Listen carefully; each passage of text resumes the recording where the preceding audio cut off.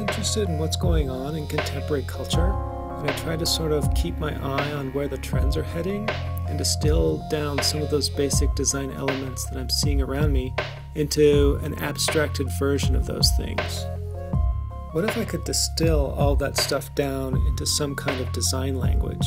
It's not so specific that you would say, ah, that's a sneaker, or that's the door of a Lamborghini, or anything that specific, but your mind can kind of imagine some of those things. But it's a little more vague and a little bit less tangible. My name is Trygve Faste, and Trygve is a Norwegian name. I'm interested in the art design intersection, but conceptually there's this invisible divide between design and art, and for whatever reason, people on either side are slightly wary of crossing that. Pieces on the wall behind me are called protoform paintings, and they're the idea of a prototype, something that is experimental, something you might um, do in product design. And then there's the illusion of form as well, so that there's an interplay, and that's what I why I call them uh, protoforms. When I'm designing the canvas shape itself, I don't worry about what the painting is going to be like. I just try and find a shape that I feel like would be exciting to play with. The other pieces on the wall I call proto structures because they're sort of talking a little bit more about structure. Each one has a number and a color, and the color will never be repeated on that number.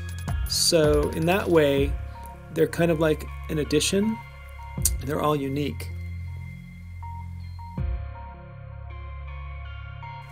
I was really excited that a piece of functional design could be in the show because I think aesthetically some of the ideas kind of go together. And I was able to work collaboratively with my wife, Jessica Swanson, who does ceramic work. there are these sort of forms, and the idea is that there's these holes cut through the table. And then there are these sort of interchangeable vase elements.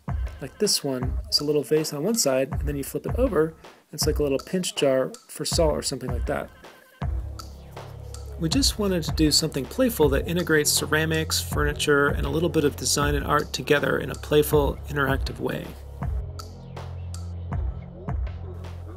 How do you figure out a title that might capture the spirit of these things that are not fully objects and they're not fully structural, but they allude to all of those things? I chose the form illusive, like illusion based, because they're paintings and they're not fully structural or dimensional. But I also like the idea that they're a little bit elusive as well, because they're hard to pin down.